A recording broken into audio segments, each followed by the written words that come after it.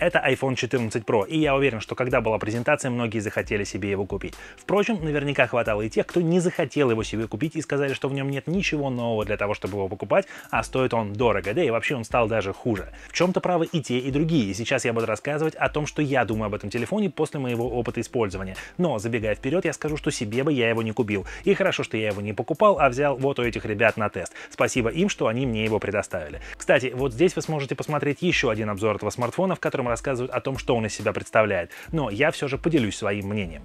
Естественно, знакомство с каждым смартфоном начинается с коробки, и каждый раз мы думаем, что в ней будет что-то новое. Или наоборот, Apple что-то да уберет, потому что до этого она нам показывала, как надо убирать из комплекта наушники, как надо убирать из комплекта адаптер питания, да даже второго яблочка теперь уже нет, хотя когда-то наклейка со вторым яблочком была. Теперь только смартфон, только кабель зарядки и только скрепка. Ну и одно яблочко. Вот теперь все так же, как и в предыдущем году. Правда, теперь коробка белая. На выбор в этом году предлагается темно-серый, белый, золотистый и вот такой вот фиолетовый цвет. На мой взгляд, он хороший, мне он нравится, как он выглядит, и я бы, если бы покупал, то купил себе именно такой цвет. В обычных темных условиях, в темноте, он выглядит просто каким-то серым. Возможно, поэтому он многим и не нравится. Но как только ты выходишь на солнце, он начинает играть интересными цветами. Особенно интересно смотрится вот эта боковая металлическая рамка, потому что у нее появляется такой глубокий фиолетовый блеск. И это просто красиво. В прошлом году казалось, что камера стала очень большой, но нифига подобного. В этом году она стала еще больше. И даже если сравнивать его с Pro Max версией, вот здесь она смотрится просто огромной и монструозной. Наверное, я уже к этому привык, поэтому перестал обращать на это внимание и перестал это критиковать. Но если размер камеры для вас критичен, имейте это в виду. Здесь он еще больше, чем раньше. И это видно даже невооруженным глазом. Он теперь занимает очень большую часть задней панели, и это бросается в глаза. Зато сам смартфон стал чуть-чуть меньше. Это практически незаметно, но из-за более тонких рамок он стал более компактным при той же диагонали экрана. Возможно, раньше толстые рамки были обусловлены не только конструктивными особенностями, но еще и тем, что надо было как-то обыграть вот этот вырез, эту челку, которая есть в экране. Потому что если просто ее сделать очень длинной, то она смотрелась бы слишком крупной. А так на фоне рамок, ну как-то более-менее. Теперь она ушла, у нас островок вырез, про который я сейчас расскажу, и вроде как все нормально, поэтому можно делать настоящие тонкие рамки. Здесь они действительно тоньше. И в итоге из-за того, что телефон меньше, а камера больше, чехлы от прошлых моделей не подойдут, придется покупать новые. Но Apple это хитрая компания, и она всегда найдет, что изменить в телефоне, чтобы старые аксессуары не подходили к новым телефонам. Исключение, наверное, только Lightning, но с ним отдельная история. Сразу скажу, что я не смогу подтвердить те проблемы, о которых говорили многие. У кого-то жутко колбасило камеру в сторонних приложениях, у кого-то телефон зависал при переносе данных или при обновлении. У меня ничего такого не было. Все работало нормально и стабильно. Да, были какие-то легкие баги фриза, но их скорее можно списать на особенности iOS 16, которая только что вышла и еще не исправила всех своих ошибок. Но с самим телефоном у меня как-то проблем не было. Вот все в нем работало стабильно. Вы, наверное, уже слышали, видели и, может быть, читали даже на нашем сайте, что этот вырез в экране — это не полноценный вырез. Это маленький вырез и маленькое отверстие. Многие даже в шутку называли его вырез и точка, но, как по мне, так вот это объединение смотрится гораздо лучше. Хотя пиксели между ними есть, и на них можно выводить информацию. Сам вырез очень своеобразный, но в то же время интересный. Когда начинаешь им пользоваться, ты просто перестаешь обращать внимание. Я и на челку-то особо не обращал внимания, она меня никогда не смущала. Но когда я попользовался этим вырезом, хоть он и огромный, но он мне в целом понравился понравился. Потому что когда я потом возвращался к своему телефону предыдущего поколения, 13 Pro, вот там я понимал, что челка уже как-то смотрится немного инородно. Но, опять же, еще раз повторю, когда ты пользуешься этим телефоном, ты не обращаешь внимания ни на челку, ни на вырез. Хотя челка по мне была логичнее, что ты мог взять вот так телефон, закрыть ее пальцем, и ты не закрывал часть экрана, ты закрывал просто челку. То есть это был такой выступ под палец. И когда ты держал телефон одной рукой, это было как-то правильно, что ли. А теперь есть какая-то часть на экране, которую надо как-то еще объяснить. Есть даже разные забавные прикольные прикольные штуки, вроде лапы кота, который вылезает из этой челки и пытается поймать вашу руку. Но это скорее из разряда демонстрации технологий. В реальной жизни вам будут приходить уведомления, вы будете открывать их из этого выреза, вы будете запускать таймеры, будильники, вы будете запускать музыку, и она будет отображаться в виде шкалы вот в этом вырезе экрана. Но если вы нажмете на это место, вы запустите приложение, а если вы его поддержите, то откроется виджет, соответствующий под это приложение, то есть, например, под управление музыкой. Я не сталкивался с теми приложениями, в которых нет виджета, но допускаю, наверное, что такое возможно. Хотя, скорее всего, если разработчики взялись это делать, то у них уже должен быть виджет.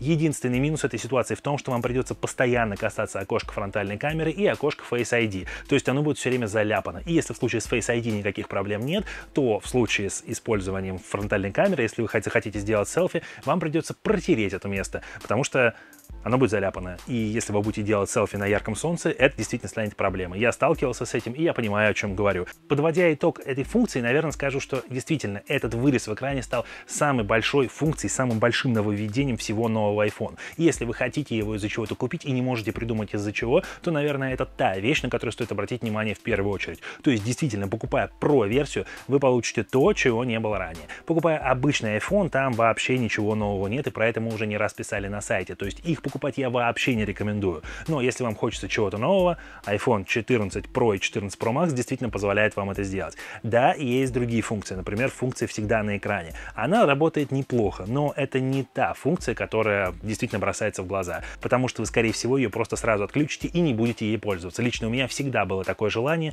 но я заставлял себя, чтобы она у меня работала, и Честно, так и не привык к ней. Вот как-то на Android смартфонах она частенько реализована даже лучше, и там хочется ей пользоваться, а здесь нет, потому что у вас просто притушенная яркость экрана. По сути, вы видите те же самые обои, вы видите те же самые виджеты, но в каком-то недоделанном формате. Мне это не нравится. Мне хотелось бы, чтобы функция всегда на экране была проработана как-то немного получше. Мне было бы достаточно просто часов, которые отображались бы, показывали время, ну и некоторые уведомления. Вот это действительно была полезная вещь. А обои, да ну их нафиг.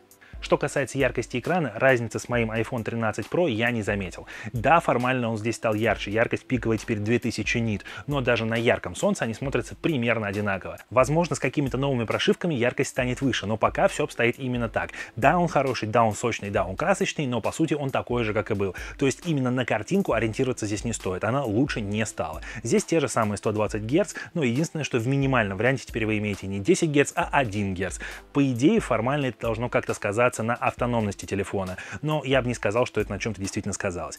Может быть, он работает чуть дольше. Сама Apple говорит, что он работает на час дольше, чем раньше, но и в предыдущем году у нас была существенная прибавка автономности, поэтому тогда он работал долго, сейчас он работает долго, и экран на это вряд ли влияет, потому что очень редко вы будете пользоваться экраном, так что вам понадобилось обновлять его один раз в секунду. Это какое-то чтение или что-то вроде того. Как правило, мы свайпаем, скроллим, читаем ленты, и вот там обновление будет гораздо более быстрым, а значит и расход энергии будет больше. И вот здесь хотелось бы отметить еще один минус. Телефон не стал работать дольше, это ладно, но он не стал заряжаться быстрее.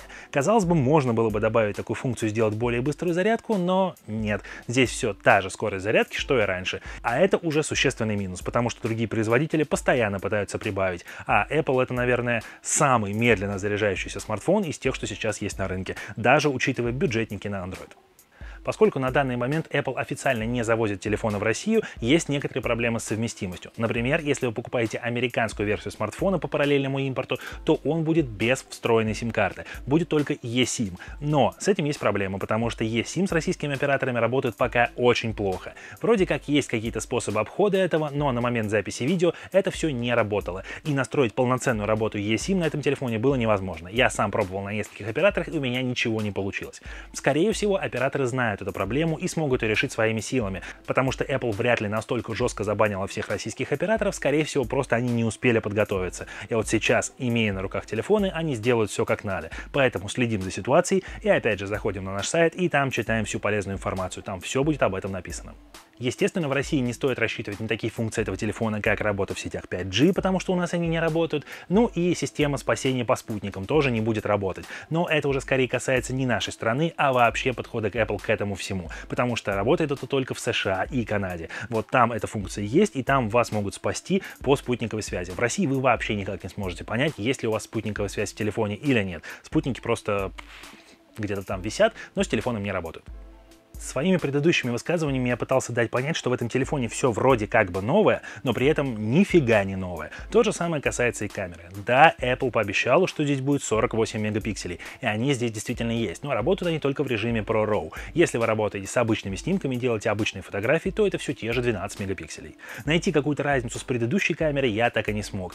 Наверное, если присматриваться к каждому пикселю на максимальном увеличении, вот там вы, наверное, сможете это сделать. Но опять же, даже обычный iPhone предыдущих поколений, да и и это тоже в одних и тех же условиях, хоть ты на штатив его поставь, все равно может сделать два разных снимка одного и того же события или одного и того же предмета. И вот разница между iPhone 13 Pro и iPhone 14 Pro примерно такая и есть, то есть она очень незначительная. Мне кажется, немного лучше стал размываться фон на портретных фотографиях. Возможно, это связано с тем, что сенсор стал чуть-чуть больше, теперь он примерно в полтора раза больше, чем раньше. Учитывая, что итоговая фотография в смартфонах в основном состоит не из физики, то есть не из реального размера сенсора, а из программной обработки, можно просто предположить, что Apple стала чуть-чуть лучше обрабатывать фотографии и получился чуть более приятный и качественный алгоритм создания размытия фона. Вот в это я скорее больше поверю, чем в то, что сенсор стал в полтора раза больше и снимки стали лучше размываться. Кстати, одно улучшение здесь действительно есть. Теперь появилась новая функция в продолжении Deep Fusion, которая позволяет делать фотографии более четкими. И она чуть лучше вытягивает темные участки. То есть она делает несколько фотографий, собирает их воедино и выдает хорошую фотографию, в которой лучше проработаны тени. В обычных условиях сделать большой динамический диапазон практически невозможно, потому что матрица не может видеть так, как человеческий глаз. Но вот эта программная обработка позволяет сделать тени лучше. И это действительно работает. Вот здесь разница, наверное, и правда есть. Но опять же, это надо присмотреться и понять, куда смотреть. Если вы будете делать просто фотографии, будет примерно то же самое. Кстати, сказанное про качество снимков относится не только к основной камере, но и к широкоугольной, и к телефото, потому что на них снимки получаются тоже примерно такие же, как и были раньше. Найти каких-то существенных отличий я не смог, поэтому будем считать, что их просто нет. И Apple не смогла сделать революцию при переходе с одного телефона на другой телефон. Конечно, если сравнивать с какими-нибудь десятыми айфонами, разница будет очень масштабной, но между 13 Pro и 14 Pro ее практически нет. Так же, как нет ее и в видео. Видео и раньше снималось хорошо, и сейчас снимается хорошо. Есть дополнительная стабилизация, которая стала отрабатывать чуть лучше. Она действительно стала лучше стабилизировать. Но иногда картинка становится такой слегка желейной. Это очень сложно поймать и заметить, но все равно небольшой эффект вот этого размытия он есть. И поэтому я бы не стал сильно уповать на эту функцию. Да, стабилизироваться будет лучше, но нет, чудес тут не будет. Вы заметили, что на презентации Apple сравнивал производительность этого смартфона и установленного в него Apple A16 Bionic не с предыдущим 15, не с позапрошлогодним 14 процессором, а с тем, который был до этого, с Apple A13 Bionic. И вот в сравнении с ним этот телефон на 40% быстрее. Видимо, если бы нам сравнили его с 15 поколением, то есть прошлогодним, мы бы вообще не заметили разницы, и Apple не смогла бы его продать. Потому что здесь установлен 4-нанометровый шестиядерный процессор, который просто работает быстро, как и в прошлогодней модели. Даже iPhone 12 Pro работает до сих пор отлично, и разницы по скорости работы между этим и тем телефоном практически нет. Ну, наверное, 120 Гц дают свое, в остальном все то же самое. Правда, в этом процессоре есть отдельный чип, который отвечает за обработку анимации вот этого островка. И в это охотно верится, потому что работает он очень круто, плавно и красиво. Но, наверное, это единственное отличие, которое нужно для того, чтобы оправдать Pro-версию. Потому что в обычном 14 айфоне стоит все то же самое, что и в прошлом году, с очень незначительными изменениями. И там этот чип даже и не нужен.